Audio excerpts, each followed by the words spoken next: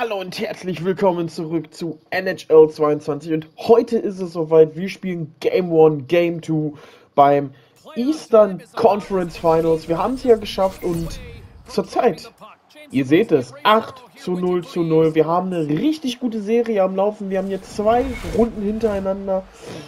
Ähm, haben wir 4-0 gewonnen. Wir wollen natürlich hoffen, dass wir diese Serie gegen die Tampa Bay Lightning natürlich fortsetzen können. Aber das wird auf jeden Fall schwer, sage ich es jetzt mal. Das wird sehr, sehr schwer, dass wir das natürlich machen, weil Tampa Bay Lightning ist ja natürlich mit einer der Favoriten hier im Standing Cup Finals. Wir natürlich auch, aber Tampa Bay würde ich sogar sagen, sind eigentlich vom Kader her sogar noch besser. Deswegen müssen wir alles geben. Bunting hier zum Beispiel jetzt gerade mit dem Versuch. Da war gerade Crosby wieder. Und. Ah, schade. Ah, Stand jetzt haben wir die Chancen. Aber aber ja. Das Point. Schönes Ding. Schön gehalten von Tristan Jerry, der ja auch schon mal unser Biest war in diesen Playoffs. Generell, unsere Jungs sind heiß in den Playoffs. Sie haben wirklich Bock. Die wollen wirklich hier das Ding mit uns gewinnen und Crosby doch nicht mit dem 1-0. Sehr, sehr schade. Aber naja, gibt auch Schlimmeres, sage ich jetzt mal. Und, na, das war dumm. Das war wirklich dumm von uns, dass wir uns das jetzt erlauben. Dummelen geht zu Recht raus. Ja, das ist natürlich, ja, Beinstellen, ähm, ja, muss nicht sein. Muss nicht sein, darf nicht sein. Aber trotzdem, wir werden das wohl hinkriegen. Zwei Minuten haben wir, oder haben wir jetzt, äh, wo wir jetzt zu viert leider ran müssen. Aber das sollten wir eigentlich hinbekommen. Im Großen und Ganzen. Äh, da wüsste ich jetzt nicht, was das für ein Problem darstellen soll. Powerschuss nicht ganz funktioniert. Schön. Das ist so ein Pokecheck, den ich doch eher lieber mag. Tristan Jerry, schön. Aber bis jetzt ein sehr, sehr sehr, sehr spannendes Spiel. Natürlich, klar, wir haben mehr Schüsse, wir haben mehr Versuche, aber Tampa Bay, wenn die jetzt mal eine Chance haben, und die hatten ja bis jetzt zweimal die Chancen, ähm, also die hatten ja bis jetzt zweimal die Chancen. Äh, waren die trotzdem sehr, sehr gefährlich, ja. Brighton Point, der Mann mit den meisten Punkten in dem Team. Natürlich auch mit einer der Top-Spieler hier in Tampa Bay.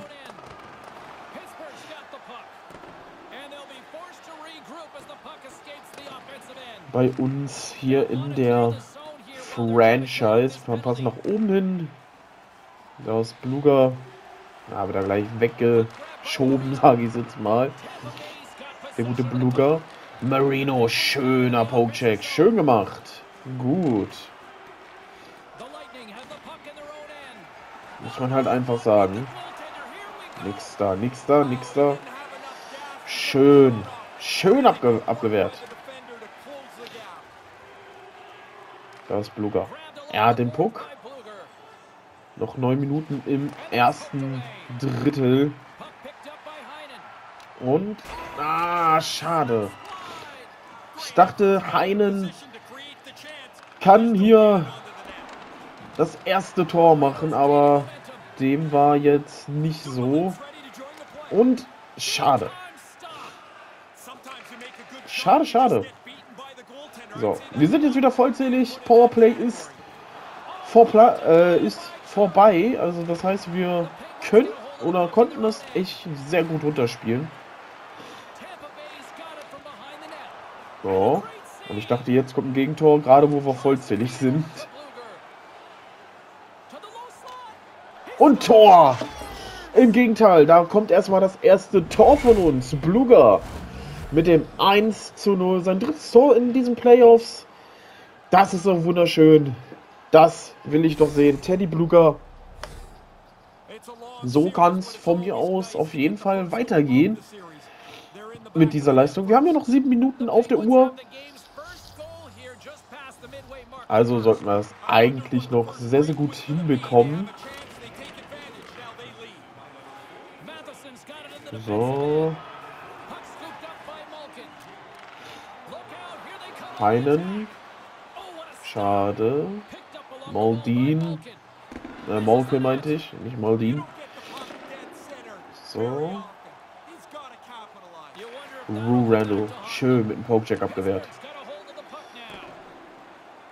Komm, komm, komm, komm, komm, komm. Ah. Da hat Tampa Bay wieder den, den Puck. Nix da. Oh! Eieiei. Das meinte ich, ne? Wenn die jetzt einmal wirklich vom Puck sind und mal wirklich die Chance haben, dann sind die gerade echt nicht ungefährlich. Die Jungs von Tampa. Äh, da können sie wirklich sehr, sehr gefährlich werden. Aber 53,5 Sekunden noch auf der Uhr. Dann ist das erste Drittel auf jeden Fall vorbei. Und Stand jetzt würde ich halt wirklich sagen, das erste Drittel geht ganz klar an uns.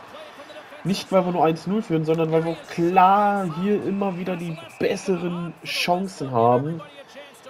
Und Tampa Bay ist halt, ja, zurzeit da. Klar, auch wir hatten gefährliche Chancen, keine Frage. Aber die waren halt da und ihr habt es ja gerade gesehen. Zeit und Angriff. Wir haben vier Minuten, sie haben gerade mal eine Minute auf dem Konto. Und da ist das erste Drittel vorbei. Es steht für uns 1 zu 0, aber wie gesagt, auch von den Chancen her ähm, steht ganz klar für uns äh, 1 zu 0. Wir sind klar die bessere Mannschaft. Aber wir haben ja noch zwei Drittel, das heißt, wir dürfen uns trotzdem nicht zu sicher fühlen. Wir müssen einfach da weitermachen, wo wir bis jetzt aufgehört haben und nicht am besten zu überheblich werden. Auf jeden Fall. Deswegen machen wir einfach weiter. So.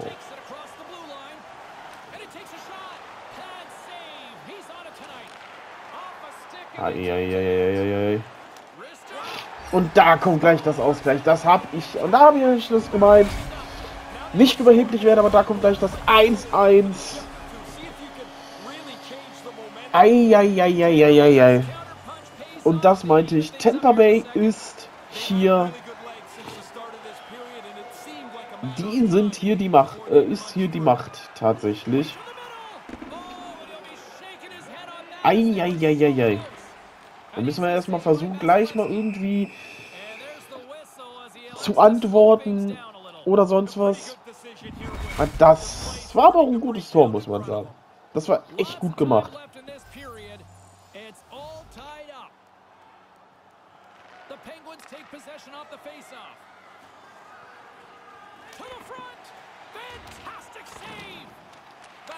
Na.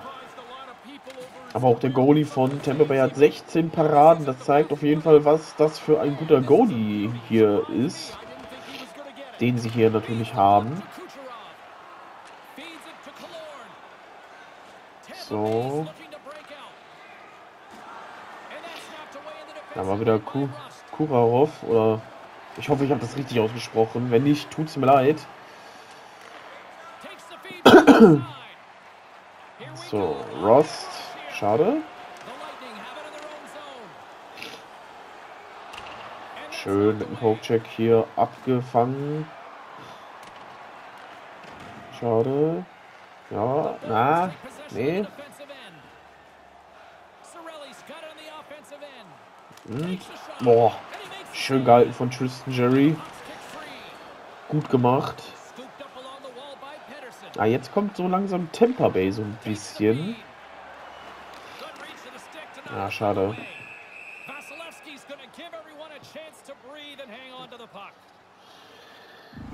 Ja, aber jetzt sind wir so ein bisschen in Bedrängnis auf jeden Fall. Da wir auch nochmal unsere Goalies gerade verglichen.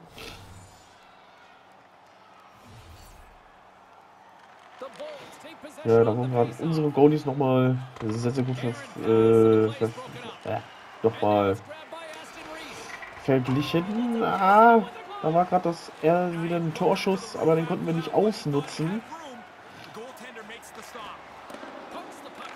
Zack, zack, zweimal hintereinander eine Weltklasse. Pokejack, schön. Das war gut. Schönes Ding. So, Absetzwarnung, aber das haben wir natürlich rechtzeitig gesehen. Und da ist das 2-1. Matteson. Ja, Matteson. Michael Matteson, zweites Tor in diesen Playoffs. Schöne, schön gemacht. So, damit haben wir wieder die Führung damit erlangt. Und somit steht es wieder für uns, äh, steht natürlich wieder alles für uns offen. Und ja. So. Komm, komm, komm, komm, komm. Schön. Und, aha. Gut gemacht. Gut. Da kommt wieder Madison. So, noch zwei Minuten im zweiten Drittel. Und ich muss sagen, das war auf Augenhöhe. Stand jetzt. Ähm, klar, wir kommen gerade gegen Ende kommen wir jetzt ein bisschen immer mehr ran, aber trotzdem, Tampa Bay weiß sich auf jeden Fall irgendwie zu wehren. Ne, muss man auch an der Stelle sagen. Und da ist das 3-1. McGinn. Sein erstes Tor in den Playoffs sogar. Broke McGinn mit dem 3-1. Man muss sagen, der war auch in der Season, also in der Regular Season war er ja, fast gar nicht da. Er war halt für die ganzen äh, Poke-Checks verantwortlich, aber dass er gleich hier ein Tor in den Playoffs macht, das, damit hätte ich jetzt überhaupt nicht mit gerechnet. Aber ich beschwöre mich nicht. 3-1, super gemacht, aber wie gesagt, auch da wiederhole ich mich gerne. Wir dürfen uns trotzdem nicht zu sicher fühlen, was das angeht. Uiuiui. Ja, jetzt müssen wir die Zeit runterlaufen lassen und das machen wir auch. 3-1 nach dem zweiten Drittel. Tampa Bay Lightning wusste auf jeden Fall äh, sich irgendwie zu helfen. Aber wir konnten dann gegen Ende nochmal sehr, sehr gut, ich sag's mal, Gegenwehr leisten und deswegen steht es jetzt so, wie es jetzt steht, aber es geht ja noch ein letzten Drittel und da müssen wir auf jeden Fall versuchen, die Führung so irgendwie aufrecht äh, zu erhalten. Und ja. So, wir haben den Face-Off gewonnen. Oh, ja, ja. Schade. Und, na, machen gleich mal hier Druck. Wirklich. Und, na, schade. Schade, schade. So. so. Gut gemacht. Bunting auf Letang. So. Zack, schöner Pokecheck. So.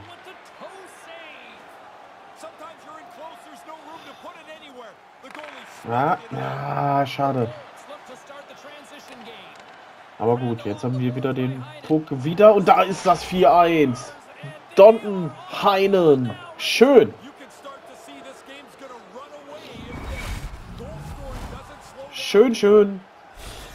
Dieses Spiel läuft gerade sehr, sehr super für uns. Läuft sehr, sehr super. Aber wie gesagt, es kann sich immer noch jederzeit ändern. Obwohl wir jetzt sagen müssen, klar, jetzt kommt so eine, ja, so eine leichte Trend. Äh, Trend, äh, Trend auf jeden Fall. Wir können uns so leicht immer mehr absetzen. Also es wird immer, ich sag's mal, unwahrscheinlicher, dass Tampa Bay noch irgendwie kommen kann. Dann mache ich hier wieder so einen Scheißpass.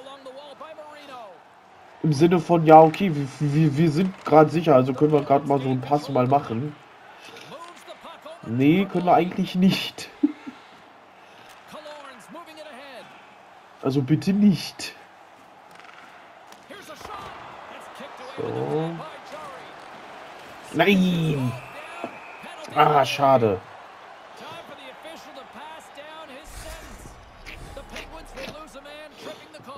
Ah, schade, schade, schade.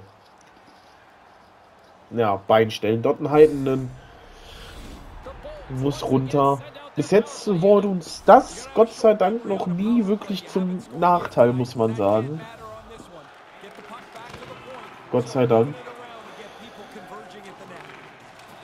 Und ich hoffe, dass es auch weiterhin so auch bleibt, also dass wir da keinen Nachteil haben.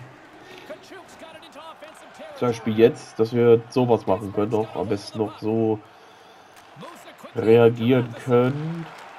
Matterson, schade.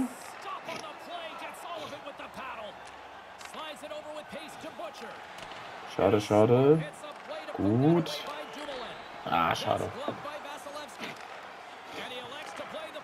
So, wir haben noch neun Minuten auf der Uhr. Gleich acht. Hier im letzten Drittel. Hier in den Eastern Conference Finals. Und ja, aber das bedeutet natürlich, dass Tampa Bay noch gut zurückkommen kann. Ne? Eieiei. So, Jungs. Ah. Zack. So. Kapanen. Oh, okay. Ja gut, Kapanen macht das mal einen richtig langen Pass. Na gut, das war das war nicht so nicht so gemacht wie geplant, aber naja. Ist halt so schön. Oh. Nein.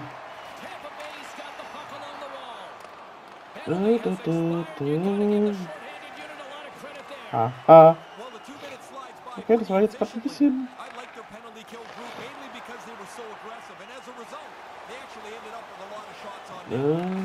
So, schön abgefangen, Marino. Schön. Okay, da war, waren wir jetzt gerade ein bisschen da wurden wir gerade ein bisschen in Bedrängnis äh, bedrängt. Das war jetzt gerade ein bisschen... Oh, ein bisschen knapp.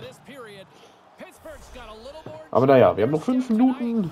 Fünf Minuten vier haben wir gleich, haben wir jetzt noch auf der Uhr. Wir haben nicht mehr wirklich viel zu spielen und auch Tampa Bay rast langsam immer mehr die Zeit für den Ausgleich. Ich will jetzt nicht sagen, dass das immer noch unmöglich ist, aber es wird doch immer und immer schwieriger für Tampa Bay, um hier irgendwie noch zu versuchen, einen Ausgleich zu machen oder sonst was. So, Rust. Zack. Ah, schade. Ja. Aber jetzt wird sowieso unwahrscheinlich. Eine Minute, eine, eine Minute 41 ist auf der Uhr. Tampa Bay könnte jetzt nur noch Schadensbegrenzung machen und versuchen halt noch irgendwie noch einen Ehrentreffer reinzumachen. Und und und, aber. Ah. So.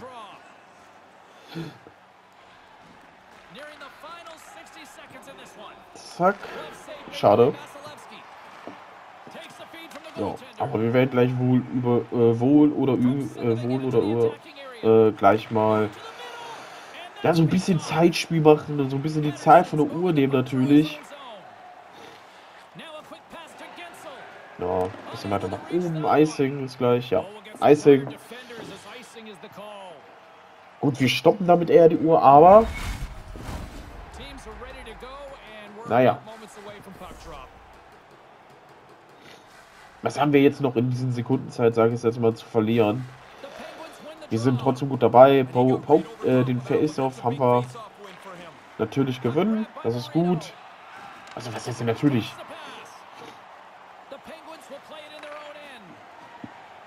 Ich sag ja schon, als ob das irgendwie Standard ist. Ah, okay, das war jetzt nicht so. Das war jetzt nicht so gut. Aber, naja, wir haben nochmal versucht. 10,2 Sekunden sind noch auf der Uhr. Ja, war auf jeden Fall ein sehr, sehr gutes Spiel von uns wieder. Auch von Tampa Bay, klar, es war, oder vielmehr, es war ein Up and Down von Tampa Bay.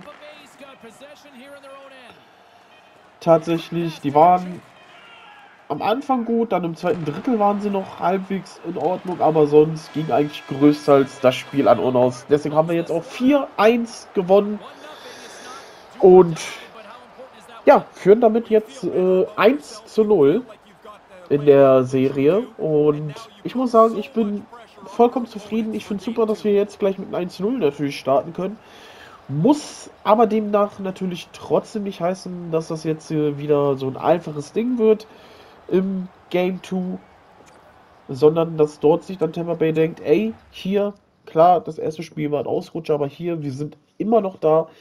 Gerade wenn man noch bedenkt, dass hier gerade, äh, dass es auch sehr, sehr lange gedauert hat, bis hier äh, mal, ich sag's mal, das 1-0 und so gefallen ist. Trotzdem äh, finde ich super. 4-1 haben wir gewonnen. Das ist äh, sehr, sehr stark. Aber wie gesagt, wir dürfen äh, uns nicht zu überheblich, wir dürfen uns nicht zu sicher fühlen. Wir müssen dort weitermachen, wo wir aufgehört haben. Und deswegen sage ich, ich mache einen kurzen Cut und dann sehen wir uns gleich zu Game 2 wieder. Bis gleich. So, jetzt sind wir hier am Start mit Game 2 gegen die Tampa Bay Lightning. Ja, nachdem Game 1 ja so richtig erfolgreich war, mit 4-1 tatsächlich haben wir ja gewonnen, wollen wir natürlich es nochmal zu wiederholen tatsächlich. Wir wollen natürlich versuchen, ja, wieder natürlich zu gewinnen. Aber ob es wieder so hoch wird, keine Ahnung. Das werden wir natürlich gleich mal sehen. Ja, auf jeden Fall müssen wir oder sollten wir natürlich versuchen. Ja. Oh, ja, ja. Das Tampa Bay logischerweise. Ja, passen wir das mal so in der Bande hin. Ja, dass Tampa Bay natürlich, ich sag's mal, nicht äh, irgendwie versuchen kommt, dort Tore zu machen. Oder uns irgendwie in die Enge zu treiben. Sag ich jetzt mal. So wie jetzt als Beispiel mit so einer gefährlichen Chancen.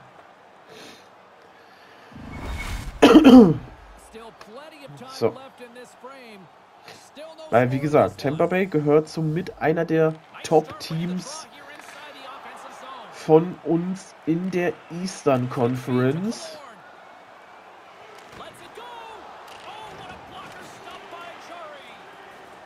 Äh, natürlich halt zur Eastern Conference, deswegen...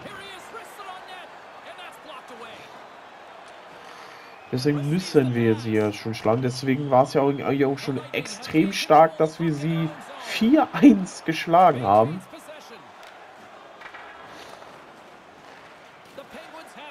So. Aber Stand jetzt muss man halt einfach sagen, sind die bis jetzt mehr auf unserer Seite. Und, oh, da war Point. Eieiei, Gott sei Dank hat Jerry uns wieder den Arsch gerottet, aber da ist wieder... Uiuiui. Jetzt... Ja. Jetzt kommt Temper. Temper ist wach. Und Temper ist da und ist bereit zu gewinnen. Oh, Brayton, Brayton Point, der hat ja auch im letzten Game, hat er ja das einzige Tor gemacht für Tampa Bay, muss man ja sagen. Das muss man ja auch an der Stelle sagen. Deswegen muss, müssen wir auf Point ja auch mal so ein bisschen aufpassen. Verzögerte Strafe für die Tampa Bay. Wir haben Stand jetzt ein leeres Tor. Aber wir wollen natürlich versuchen, die Chance zu ergreifen. Aber naja. Grimaldi, äh, Grimaldi hat tatsächlich die Strafe. Ja, Strafebehinderung tatsächlich. Hat er hier bekommen. Ja, ist natürlich gut für uns, aber ob wir das auch zu einem Tor ausmünzen könnten, das müssen wir natürlich erstmal schauen. Ja, jetzt wird natürlich erstmal nach vorne geschossen, um natürlich hier erstmal Zeit von der Uhr zu nehmen. Aber ich sag's mal so, wenn wir es schaffen, dadurch ein Tor irgendwie zu machen, dann natürlich auch nicht schlecht. No, da sind natürlich die Checks. Habt ihr nochmal gesehen, wer die meisten oder so mit die meisten Checks hat? Ja, und Tampa Bay führt bei den Face-Offs. Das ist aber ja mittlerweile nichts Neues. Dass irgendein Team dominant äh, bei dem Face-Off führt, äh, führt. Das ist ja komplett Standard.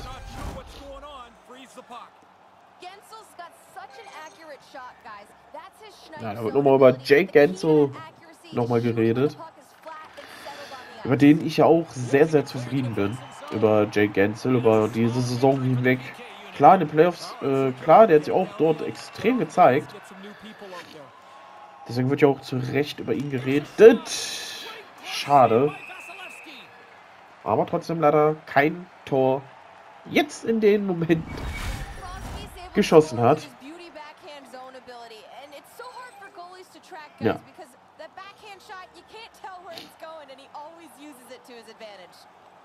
Ja, da wurde gerade nochmal über Crosby geredet. Tatsächlich.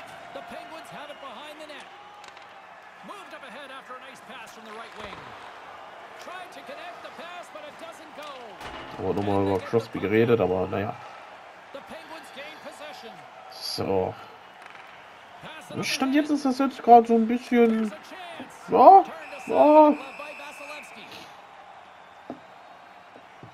Ja, okay, da will eine Tampa Bay, äh, Tampa Bay Spieler irgendwie Stress. Aber statt jetzt ist das jetzt so ein Spiel, ja, ja. Zuerst kam Tampa Bay, jetzt kommen wir so ein bisschen. Klar, gut, Tampa Bay äh, wirft den Punkt mehr oder weniger immer wieder nach vorne, weil wir müssen ja jetzt irgendwie die Zeit äh, von der Uhr nehmen. das muss man den natürlich auch halten und gehe natürlich damit eher weniger Risiko, sage ich jetzt mal. Aber naja, in 15 Sekunden ist das auch vorbei, ja. Klar, es macht Sinn, dass sie den Puck immer wieder nach vorne schlagen, aber ich glaube auch, dass ein Team unbedingt nicht immer nach vorne den Puck äh, positioniert, um Powerplay vor der Uhr zu nehmen, weil. Ich glaube auch, dass manche Teams es auch trotz Unterzahl versuchen, irgendwie ein Tor zu schießen. Weiß ich nicht, finde ich ein bisschen komisch, aber gut. Ich sag's mal so, es gibt Schlimmeres, ne?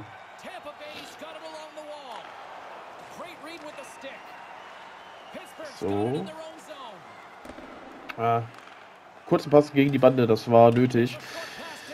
Habe ich gesehen. Äh, das hat uns jetzt sehr, sehr viel Zeit gebracht. Ah, schade. Das war knapp. So, aber gleich... Nein. Aber naja. Jetzt ist gleich vorbei. so, zack, hier.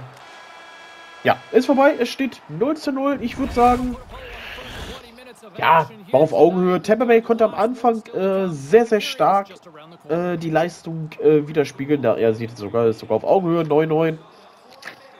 Zeit in der Offensive, beide zwei Minuten, also es ist wirklich auf Augenhöhe. Man könnte halt das unterteilen. Die, erst, äh, die erste Zeit hat Tampa Bay sehr, sehr gut Druck gemacht und danach wir, also ja, halt auf Augenhöhe, ne? Logischerweise. So, aber wir sind jetzt im zweiten Drittel. Das heißt, wir wollen damit natürlich versuchen, äh, wollen natürlich damit jetzt äh, versuchen, irgendwie end endlich mal ein Tor zu schießen. Und aber ich glaube bei uns eher lieber ein eigenes Tor, anstatt auf unseres oder einer von den Tampa Bay Lightning Spieler. Das war gerade sehr, sehr knapp. Oh, super gehalten. Sehr, sehr stark, aber auch sehr, sehr schade, dass er nicht von, für uns reingegangen ist. Habe natürlich gehofft, dass der irgendwie reingeht, logischerweise. aber naja.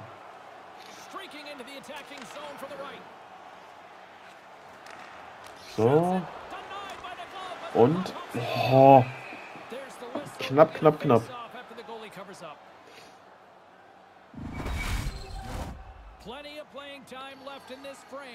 Ja, da werden nochmal unsere Goalies verglichen. Auf jeden Fall ist eigentlich der Tampa Bay Lightning Goalie heute tausendmal besser.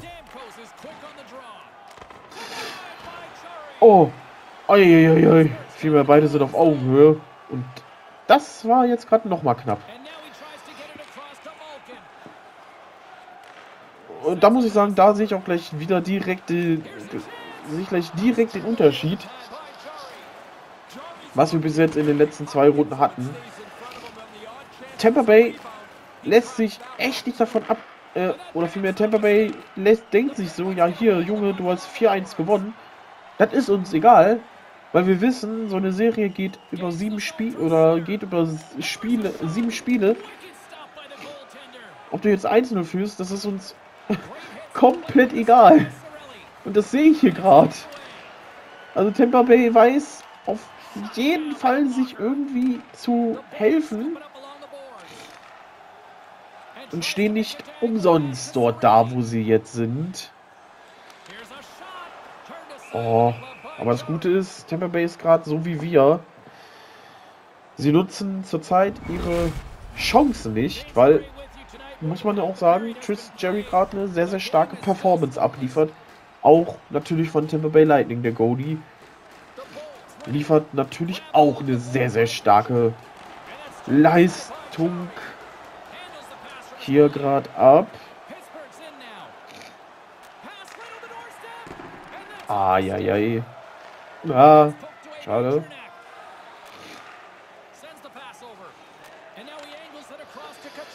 Eieiei. So, komm. Jerry. Schön.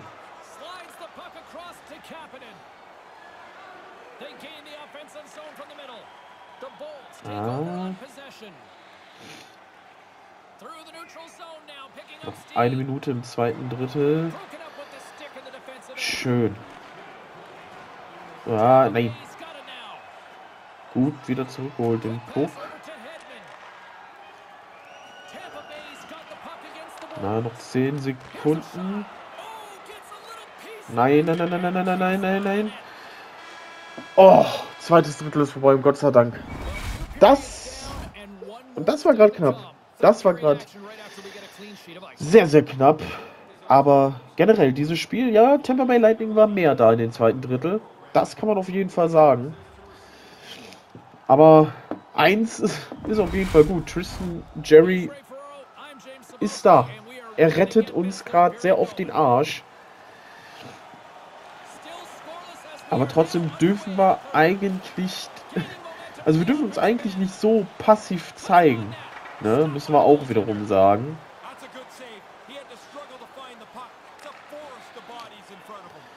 Wir müssen ein bisschen mehr aktiver sein, sage ich jetzt mal. Mehr, äh, mehr wieder nach vorne. in die Offensive und Tampa Bay eher mehr in die Defense anstatt in die Offensive. Aber naja, müssen wir gucken. Crosby, schön. Oh, da waren wir, da waren wir gerade echt weg. Weggeholt.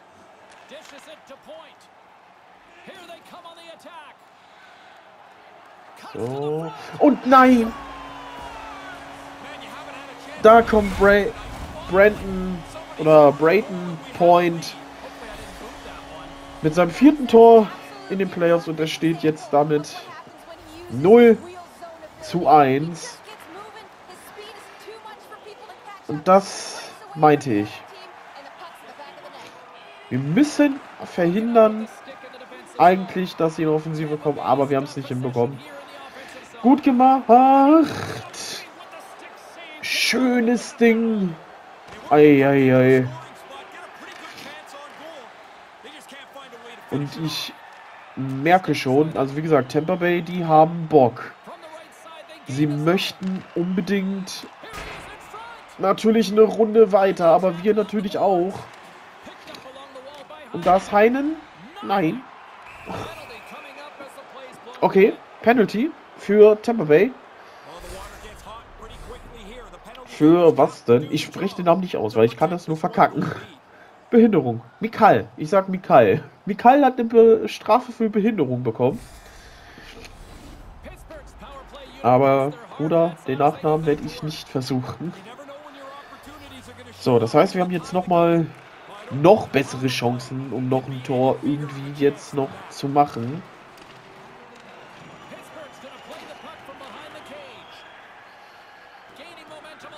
So, zack. Und da ist Crosby. Schönes Ding. 1-1. Let's go. Das war noch nicht mal ein Powerschuss. Weltklasse Ding. Und somit macht es jetzt zweistellig Crosby und macht sein zehntes Tor in den Playoffs. Und das war ein wichtiges Tor. Wir haben noch glatte neun Minuten. Und ich bin ehrlich, ich will es, glaube ich, mehr auf das Unentschieden, glaube ich, jetzt erstmal aufbauen, sodass wir jetzt in die Overtime kommen. Irgendwie.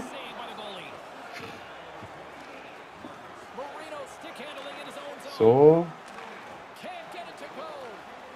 Eieieiei.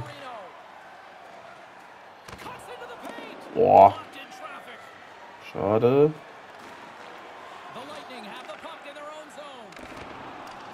So. Na, da konnte man leider nicht den Puck irgendwie holen. Gut gehalten von Jerry.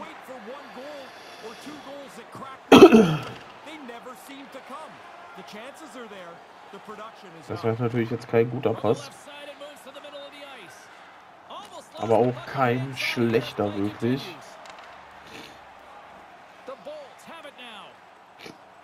So. Ah. Und nein! Da kommt gleich das zweite Ding. Nikita Kurilov.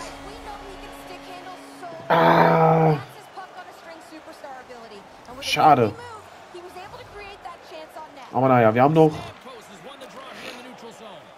Wir haben noch zwei Minuten auf der Uhr. Wir können es noch irgendwie ausgleichen. Jetzt müssen wir auf ein, äh, irgendwie auf die Overtime gehen. Das steht auf jeden Fall fest. 1 Minute 22 ist noch genügend Zeit für uns. Aber Stand jetzt schafft es anscheinend Tampa Bay, ich sag's mal, unsere glorreiche Serie zu brechen.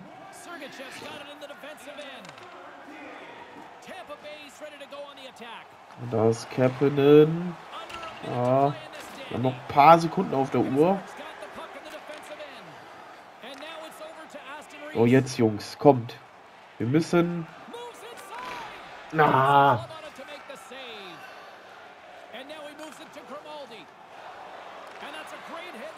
Absetzwarnung. Da müssen wir raus. Hat uns natürlich ein bisschen Zeit gekostet.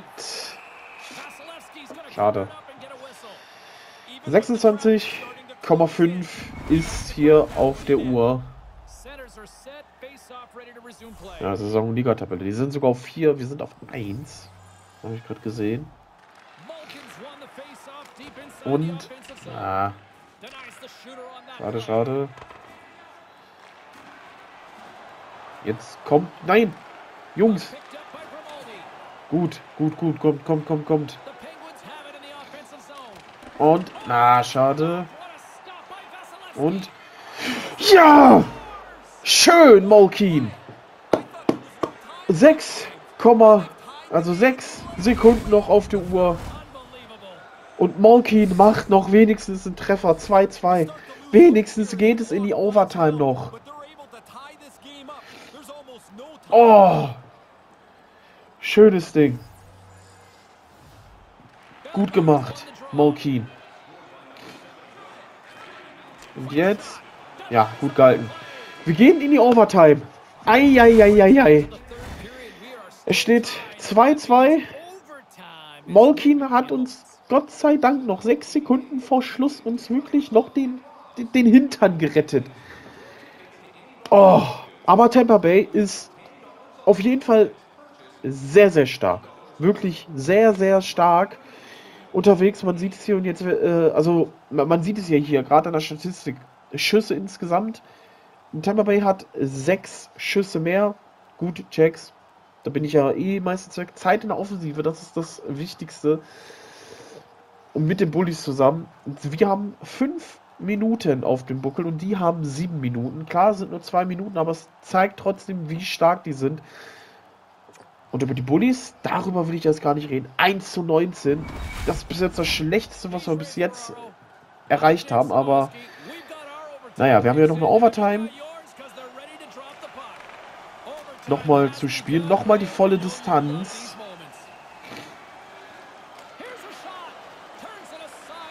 So. Kommt, Jungs. Wir müssen... Wir müssen das schaffen.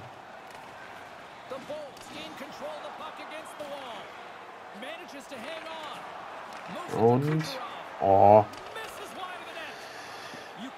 Und... Nein! Da kommt Point. Mit dem Tor und wir haben verloren. Wir haben verloren in der Overtime. 2 zu 3. Aber sei es, man muss es halt sagen, sei es Tampa Bay gegönnt. Die haben einfach es besser gemacht. Es war aber auch ein gutes Tor. Ja, es war schade. 2-3 verloren. Ähm, haben sie besser gemacht. Haben sie wirklich, wirklich besser gemacht, äh, Tampa Bay.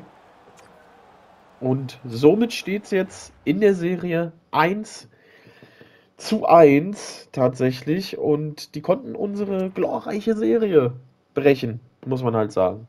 Äh, muss man an der Stelle sagen, die muss, äh, konnten unsere Serie brechen. Aber naja, ist doch gut, dass es mal spannend ist. Ist doch gut, besser als die letzten zwei Runden, wo es ja, ich sag's mal so halbwegs, äh, nicht nur halbwegs, wo es ja wirklich so dominant war auf jeden Fall, ja, nächstes Spiel ist dann in, ist es wenigstens dann bei uns. Ich hoffe, dass wir hoffentlich zwei Spiele gewinnen können äh, zu Hause. Und ja, äh, ich hoffe, euch hat es äh, gefallen, äh, diesen Part von N NHL 22. Wenn es dem so ist, könnt ihr einen Daumen nach oben da lassen. Äh, darüber würden wir uns darüber tatsächlich äh, freuen. Und falls ihr neu auf diesem Kanal seid, könnt ihr ja auch noch mal unten im Kanal vorbeischauen und nochmal durch die Playlisten durchstöbern. Die Namen stehen auch in den Playlisten so, dass ihr wisst, wer welches äh, Projekt gerade macht oder gemacht hat.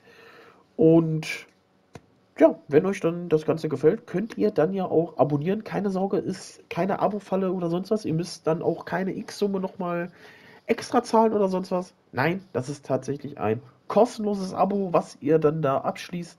Ihr bekommt dafür auch kostenlosen Content immer jeden Tag, außer Freitag.